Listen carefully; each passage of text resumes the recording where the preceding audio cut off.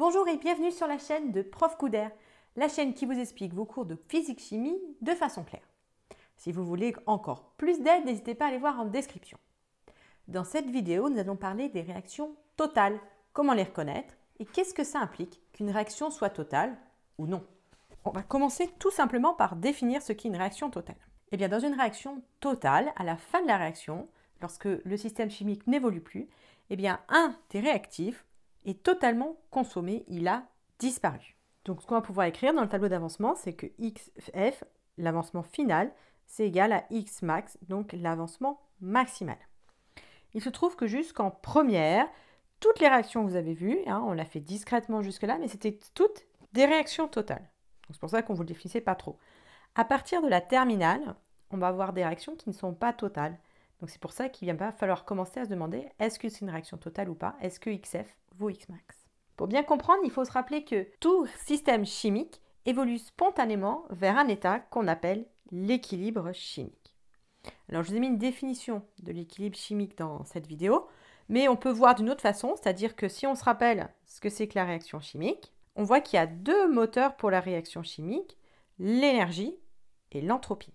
Et là, si je vous parle chinois, c'est le moment d'aller voir cette vidéo où j'explique vraiment ce que c'est qu'une réaction, une transformation chimique.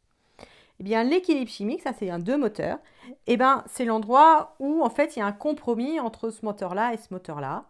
C'est-à-dire que chacun pousse, un petit peu comme si chacun tirait d'un côté, l'équilibre chimique, c'est l'endroit, enfin l'état du système où ces deux forces, ces deux moteurs poussent de la même façon. Donc, quand le système atteint ce compromis, on dit qu'il est à l'équilibre chimique. Tant qu'il n'est pas à l'équilibre chimique, un de ces deux moteurs va pousser le système pour qu'il atteigne cet équilibre.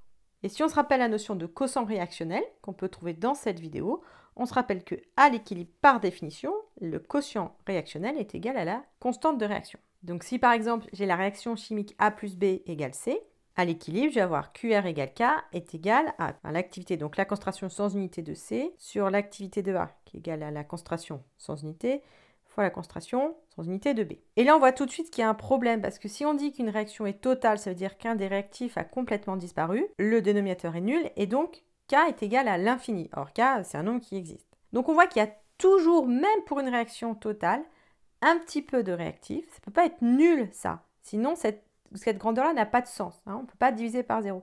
Donc il y a toujours un petit peu de réactif à la fin, même dans une réaction totale. Et là, si vous suivez, vous dites, mais elle raconte n'importe quoi, Madame Couder. Elle nous dit, c'est quand ça a disparu, et là, elle nous dit, en fait, ça ne peut pas disparaître. Euh, c'est pas possible. Et en fait, si c'est possible, parce qu'on est en chimie, pas en maths. Je vous ai déjà fait une vidéo ici sur la différence entre les maths et la physique. Et l'idée, c'est que en maths, on manipule des nombres, alors qu'en physique, on manipule les intervalles. En chimie, c'est un petit peu différent, c'est-à-dire qu'en fait, en chimie, on manipule des très grands nombres. Alors peut-être que vous n'avez pas vu qu'on manipulait des très grands nombres, parce que ces très grands nombres, comme ils sont trop grands, on les cache. Mais si je prends un bécher, avec dedans 100 ml, d'une solution à une concentration, par exemple, de 10 puissance moins 3 mol par litre. Là, on a envie de se dire, ben, il n'y a pas vraiment de grand nombre. 100 ml, c'est 0,1 litre. Euh, la concentration 10 moins 3 mol par litre, c'est pas grand-chose. Si je regarde la quantité de matière, j'obtiens 0,1 fois 10 moins 3, on tombe 10 moins 4 mol. Alors c'est vraiment pas beaucoup, c'est pas des grands nombres. Et en fait, ils sont cachés parce qu'il faut se rappeler que 10 moins 4 mol, c'est en fait égal à 10 puissance 19 molécules.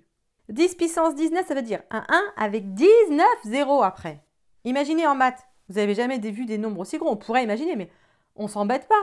Votre prof ne va pas vous dire euh, donnez-moi l'abscisse de la courbe euh, en, euh, avec un nombre et hop, 19 chiffres. Donc il faut bien faire attention, elles sont cachées ces molécules. Et d'ailleurs, comme il y en a beaucoup, on met un S. Elles sont cachées, mais il y en a énormément.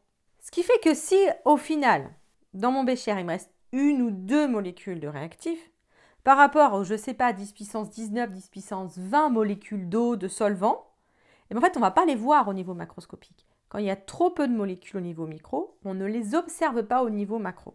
Et donc, comme on n'observe rien au niveau macro et que ça n'a pas d'influence au niveau macroscopique, et eh ben, on va pouvoir dire que euh, c'est quasiment nul, on va dire que c'est négligeable, on va dire que la quantité de réactifs au final est négligeable devant euh, le nombre de molécules, euh, par exemple, de produits. D'accord? Donc il n'y aura pas d'influence. Donc macroscopiquement, c'est comme s'il n'y en avait pas. Mais en fait, il y en a un tout petit peu. Mais comme s'il n'y en avait pas. Alors ça, c'est vrai s'il y a quelques molécules. Mais en fait, on peut en avoir plus de quelques. Parce que par exemple, si on a un million de fois de plus de molécules euh, de solvants ou de produits, un million de plus de produits que de réactifs, bah voilà, un million, euh, si il y a quelqu'un qui a un million d'euros et quelqu'un qui en a un, on va pas dire que celui qui a un euro, en fait, il a rien. Eh bien, même si on a un million de plus, eh ben, il reste encore 10 euh, puissance 13 molécules de réactifs. Vous voyez, donc ce n'est pas quelques molécules qui restent, c'est quand même beaucoup parce qu'on est avec des chiffres qui sont énormes.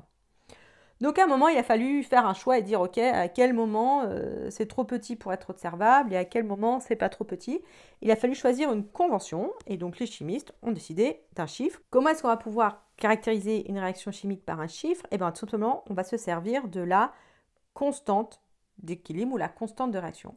Et on va dire une réaction est totale si cette constante-là est supérieure à 10 puissance 4. On se rappelle, ça n'a pas d'unité. Donc si elle est supérieure à 10 puissance 4, soit 10 000. On se rappelle, si on a par exemple une équation de réaction de type A plus B égale C, alors K, c'est égal à la concentration de C sans unité à l'équilibre sur la concentration de A sans unité à l'équilibre fois la concentration de B sans unité toujours à l'équilibre. Donc on voit qu'en gros, c'est le rapport des concentrations des produits sur les réactifs, en gros. Donc ça veut dire que si c'est supérieur à 10 puissance 4, à la fin, on va avoir 10 000 fois plus de produits que de réactifs. Donc en fait, une réaction totale, ça va être une réaction où il y a en gros 10 000 fois plus de produits que de réactifs. Et donc on va considérer que la quantité de matière finale de réactifs est nulle. Alors, dans le tableau d'avancement, on pourra écrire 0, mais quand on écrit la constante d'équilibre, euh, là, il ne faut pas mettre 0, hein, sinon ça devient infini. Donc, il faut bien garder les tout petits epsilon euh, qu'on a.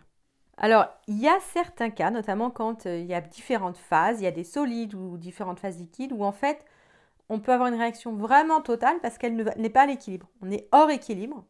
Le système ne peut pas aller à l'équilibre et du coup, là, on a vraiment des, valeurs nulles. Mais ça, c'est vraiment pas au programme de lycée. Au lycée, les seules réactions qui sont au programme, c'est des ions en solution aqueuse. Donc vous aurez toujours une phase, donc il y aura toujours, toujours, toujours un équilibre. Et donc cette réaction totale, si K est supérieur à 10 puissance 4, est toujours vraie. Donc si jamais K est inférieur à 10 puissance 4, donc là la réaction n'est pas totale. Donc on va pouvoir dire que XF, l'avancement final, est inférieur à Xmax, l'avancement maximal. Et on va définir ce qu'on appelle le taux d'avancement. Donc le taux d'avancement, on le note taux, facile, c'est la lettre grecque, hein. je vous rappelle que vous devez connaître votre alphabet grec, et c'est égal à x final sur x max.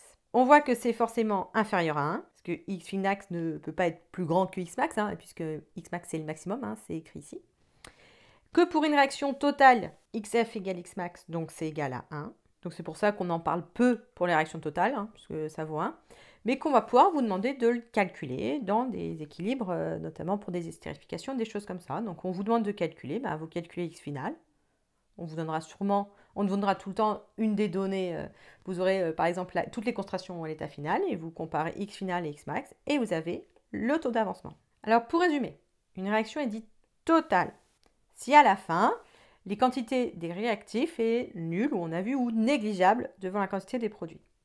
Et dans ces cas-là, si la réaction est totale, on a x final égale x max. Pour savoir si une réaction est totale, eh bien, il suffit de regarder sa constante de réaction. Et si on voit que K est supérieur à 10 puissance 4, on va pouvoir dire qu'elle est totale. Si la réaction n'est pas totale, on peut définir le taux d'avancement qui est égal à xf sur x max, qui est forcément inférieur à 1.